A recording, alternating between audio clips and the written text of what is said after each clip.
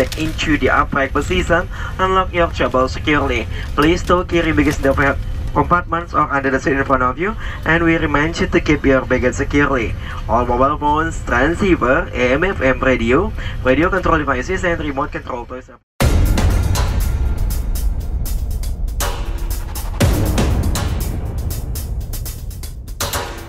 Ahoy, balik lagi di channel Gani November, yo. Slow kalian di boncengan, slow, slow, slow kalian di boncengan, no. Oh, sangat gas lo bang ya kan. Semangat kali aku bos. Udah lama ngevlog di Medan. Eh, 4 hari, eh 5 hari touring, 5 hari, 6 hari lah touring.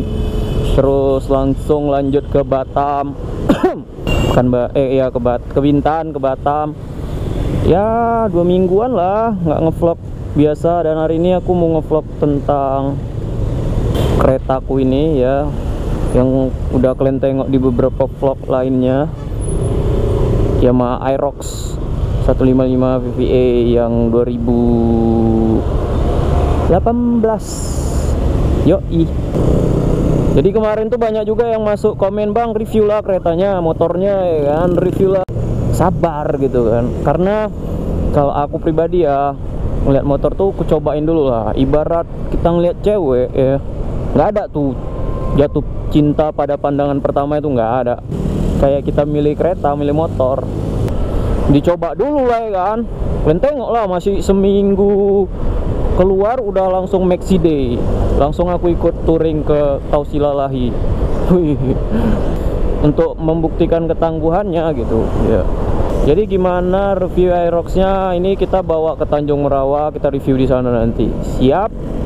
Ayo gas Ha, kayak ginilah penampakan Aerox 155 VVA. Aerox ini ada tiga versi, standard version, air version, dan S version. Nah, punya aku ini yang S version dan keluaran terbaru. Tampilan speedometernya udah digital dan banyak fitur tambahannya. Ada odometer, ada jamnya juga, indikator ABS dan lain-lain. Fitur selanjutnya, motor ini udah keyless ignition, artinya nggak pakai kunci. Cuma pakai sensor yang mana mesin hanya bisa nyala jika jarak sensor kurang lebih 1-2 meter dari motor. Jadi kalian nggak bisa jauh-jauh dari keretanya, sama kayak hati aku sama adik itu. Kalau jauh-jauh nggak bisa connect dia. Mau ngisi bensin nggak usah pala turun-turun lagi kalian, puter aja ke arah open, terus pencet tombol fuelnya. Nah, terbuka lah itu tangkinya. Mau buka bagasi keretanya juga sama, tinggal puter aja arah open, tekan tombol seat. Nah bagasinya ini muatannya kurang lebih 25 liter.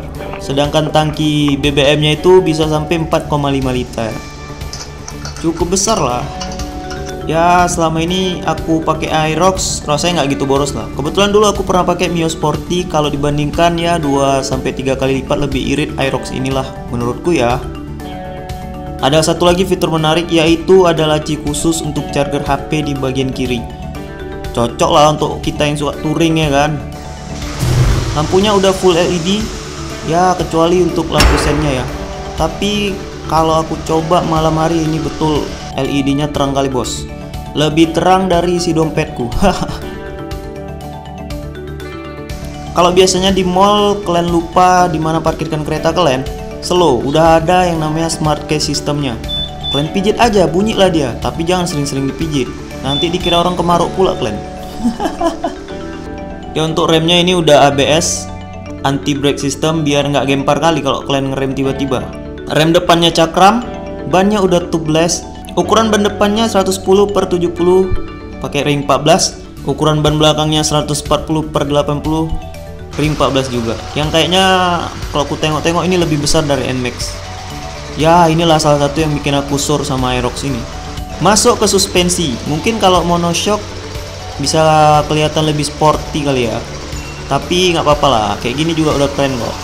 Nah bedanya S version yang aku punya ini dengan Air version yang Air version itu shock belakangnya udah pakai shock tabung penampakan belakangnya wih ganteng kali ya lampu sennya udah kayak kereta-kereta sport gitu ya kan? Lampunya terpisah dari bodinya. Keren lah pokoknya Ya itulah tadi review singkat Aerox 155 VVA di bawah pesawat. pesawat Tanjung Merawa. Nah sekarang kita coba bawa lah Aeroxnya walaupun udah sering ya kan. Ini bu nih. Bu makasih bu. Nah ini pesawatnya nih. Gila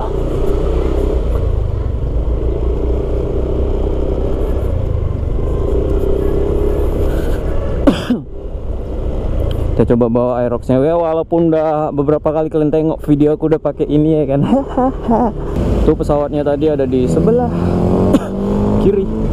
Ah ketutupan pula sama tenda ini. Pas lagi ada acara soalnya. Inilah dia nih. Nih. Tanjung Merawa Deli Serdang pas di situ bacaannya. Ya itu tadi review singkat aku tentang Aerox ini. Yamaha Aerox 155 VVA yang 2018 ya kan? Nah jadi secara selama ini aku pakai apa aja sebenarnya keluhan-keluhannya ya? Atau keunggulan-keunggulannya? Keunggulannya udah aku jelaskan lah tadi ya.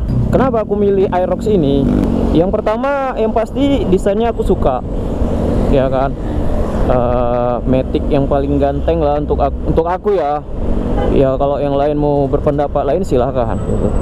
jadi ada yang bilang ah Aerox desainnya berlebihan. Aerox desainnya enggak ya itu kan selera masing-masing jadi nggak bisa dipaksakan gitu.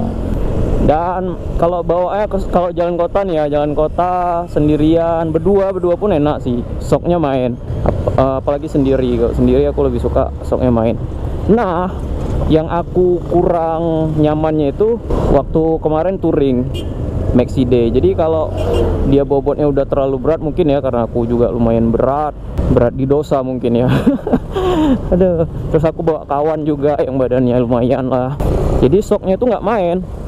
Dan sok depannya itu lebih parah tuh kalau kena lubang tok tok itu kalau jalan uh, boncengan jalannya yang jalan-jalan touring gitu, jalan-jalan yang apa namanya yang rusak gitu kan. Tapi kalau di jalan kota gini, nih misalnya kayak gini, ini main soknya ha. soknya enak nyaman. Suspensinya oke okay lah. Oke, tapi kalau udah lubangnya parah tok tok itu itu sih. Karena memang aku juga touring kan jarang ya. Aku lebih sering dalam kota makanya aku pilih ini. Makanya soal kenyamanan pun sebenarnya kalau untuk touring ini kurang kurang nyaman untuk touring. Ya beda dengan NMAX jauh lah. Kalau NMAX bisa gini kalau ini nggak mungkin gini awak ya kan? Kaki awak. Nggak mungkin. Iya tapi kalau untuk bawa sendiri oke okay lah. Kalau touring kuncinya bawa sendiri aja. Jangan bawa uh, boncengan. Capek bos. Iya sayang juga soknya. Kalau touring boncengan terus kalau boncengan itu kalau touring itu yang belakang sakit kali. Kakinya itu uh, kurang pas lah. Jadi tapi kalau dibawa lari ini memang wih dia mau aja nih. Gila. Enak gitu. Dan karena bannya besar ya bannya besar jadi uh, pembawaannya juga enak kalau misalnya lagi uh, belok kayak gitu lagi corneri. Keles sih fitur yang paling aku tertarik itu keles. Kelesnya lah karena ya tau lah Medan lagi lagi kurang aman ya. Jadi kalau secara posisi duduk posisi duduk Aerox ini enak lah nyaman. Pas lah nggak nggak bungkuk kali nggak gini kali ya kan. Kemarin kalau nggak salah NMAX eh Aerox itu dapat the best performa kategori the best performa apa ya motor ya ngomong-ngomong ini bukan ini ya ini bukan spion bawaannya ini aku beli yang model Tomok. Ini spion Tomok tapi yang agak besar. Jadi bukan yang paling kecil itu. Kemarin tuh aku sempat beli yang kecil. Salah beli sebenarnya. Gara-gara kawan yang belikan jadi salah beli. Itu kecil kali nggak nampak. Ada orang di belakang itu nggak nampak spionnya. Jadi ya gila. Kalau untuk gaya oke okay lah. Tapi untuk safety enggak lah. Jadi aku tetap mengutamakan safety. Aku cari lagi spion ada nggak spion tomok yang agak lebih besar? Rupanya oh aku cari lagi ada nggak spion tomok yang agak lebih besar? Rupanya ada yang lebih besar dikit. Dan standar lah. Standar. Ya sekian lah review Aerox dari aku. Kalau ada yang kurang-kurang kalian komen aja. Karena aku bukan orang yang terlalu ngerti otomotif. Aku cuma pencinta roda 2 tapi aku belum sampai ke tahapan bisa apa namanya ngerti soal mesin soal segala macam. Aku nggak intinya gitu aja. Ya makasih buat non yang udah nonton video ini. Semoga bisa nambah sedikit pengalaman lah. Pengalaman bisa nambah sedikit informasi walaupun nggak banyak kali. Walaupun mungkin udah banyak yang review tapi ya itulah sedikit pengalaman aku pakai Aerox dan sepanjang eh, sejauh ini aku nyaman pakai ini. Senyaman aku sama adik itu. Asik. Ya. Terima kasih udah nonton